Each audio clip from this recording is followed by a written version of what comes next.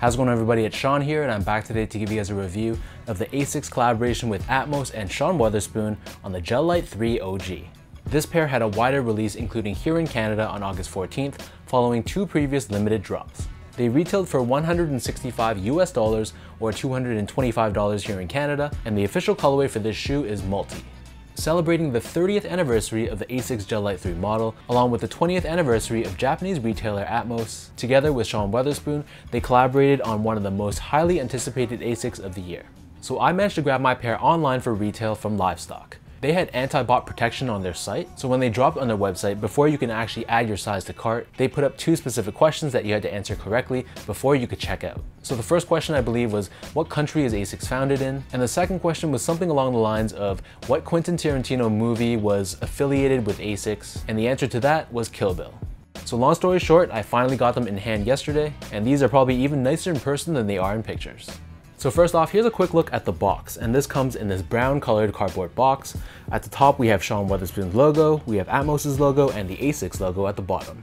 Inside the top lid, there's some text about the Gel-Lyte 3 and the background behind it, and then at the bottom, if you guys can see, there's these sketches of the Gel-Lyte 3. As for the shoes, as you guys can obviously see, this is done in mismatching fashion. So the left shoe is supposed to represent LA, whereas the right shoe is supposed to represent Tokyo.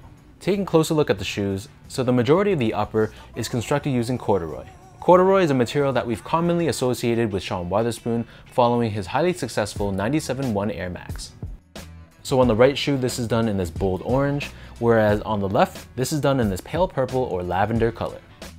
Surrounding the outer edge of the toe box, there's another layer of corduroy. For the right shoe, it's done in this orange color, which gives it a very tonal look all across the toe box but we have these two hits of exposed brown canvas on the lateral side, along with this embroidered ASICS logo on the medial edge.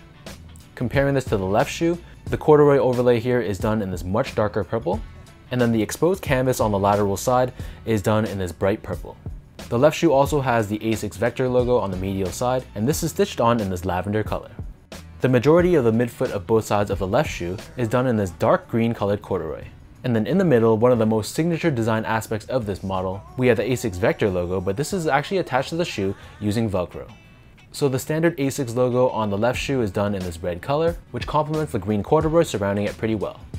In contrast, on the right shoe, the majority of the right shoe is done in this pastel blue colored corduroy. And then again using Velcro, the standard ASICS Vector logo on the right shoe is done in yellow. In addition to these two ASICS vectors, they also give us three other options as well, so you can really interchange it based on how you like your shoe to look. And they also include two separate patches as well, one incorporating Sean Wotherspoon's logo and the other one with the Atmos logo. Moving downwards towards the back end of the shoe, on the left foot this is covered in this brown colored corduroy, and on the lateral side we have Gel-Lyte 3 embroidered in a combination of green, red, and blue. Comparing this to the right shoe, this is done in a very bright and vibrant turquoise corduroy and then again embroidered on the lateral side, we have Gel-Lyte 3 done in pink, orange, and green. At the very center of the back heel, we have both the ASICS logo and the Gel logo found in the middle.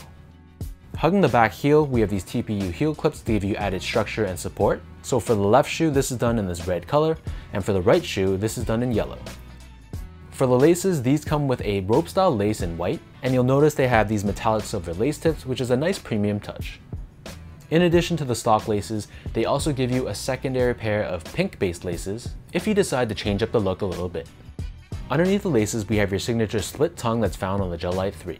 On the right shoe, this is done in this gray color, and you see we have LA embroidered on the lateral side, whereas on the left shoe, this is done in this green color, and we have the letters TYO embroidered on this shoe for Tokyo. The inner liner of these shoes is done in the silky-like material, and then taking out the insole, you'll see they come with mismatching insoles, and on the right shoe, we have ASICS and the Sean Wotherspoon logo. And on the left shoe, we have ASICS and the Atmos logo. So the upper of these Gel-Lyte 3s sits atop this white colored foam midsole. We have ASICS branding debossed on the lateral side, and then encased within this foam midsole but not visible to the eye, we do have ASICS gel technology for cushioning. Turning the shoes over to the bottom, so again these come with mismatching outsoles. For the left shoe, this is done in purple on the forefoot and gray on the back heel, whereas on the right shoe it's done in brown on the forefoot and purple on the back heel. In either case, it's finished off with ASICS branding in the center. So that covers the look and design of the shoe. In terms of how these fit, when I was doing my research online, a lot of people said that they fit true to size. So I took the chance, I got these in a size 10, which is my actual true measured size, and they fit me pretty well. I'd say that if you have really, really wide feet, you might want to consider going up a half size. However, for me, even though my feet are a little bit wide, the width on the shoe was just perfect, but if my feet were any more wider, then I might have some issues. Lengthwise though, the shoe was perfectly fine, so if you have narrow or normal width feet, then true to size is definitely the way to go.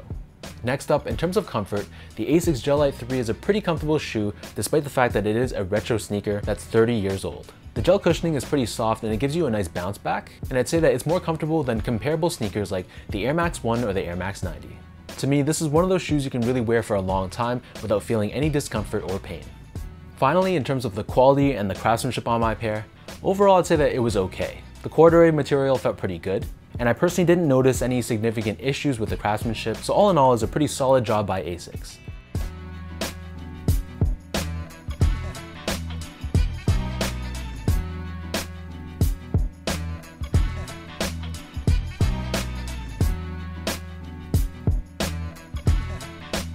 With all that being said, now let's lace up these Sean Wotherspoon, Atmos, and ASICS Gel-Lyte 3s, and I'll show you guys how these look on feet.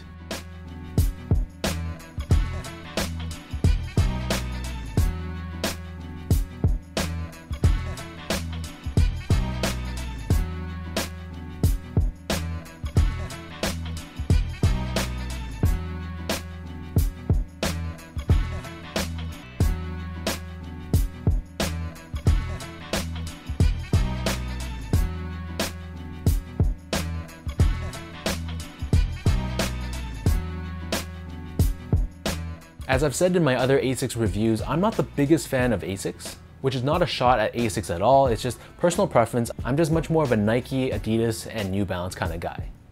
With that said though, I think that this collaboration was very well done. It has a very fun and playful look to it, and I love the interchangeable vectors which gives it a very interactive feel. With that said though, between the two feet, I definitely like the look of the LA pair much more than the Tokyo one.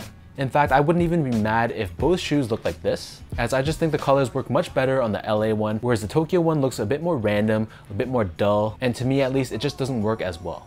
So let me know in the comment section down below what you guys think about this Atmos and Sean Wotherspoon Gel-Lyte 3. Did you guys manage to pick up a pair? And if you did, is this a shoe that you're gonna be rocking, or is it more of a quick flip, or a shoe that you're gonna trade for something else? If you guys like this video, be sure to like, comment, and subscribe. Give me a follow on Instagram at sgo8 check out my Twitter account at sean.go, and visit my website at seango.ca. So until next time, thank you guys so much for tuning in. Hopefully you guys enjoyed watching this video, and I'll catch you guys all in the next one.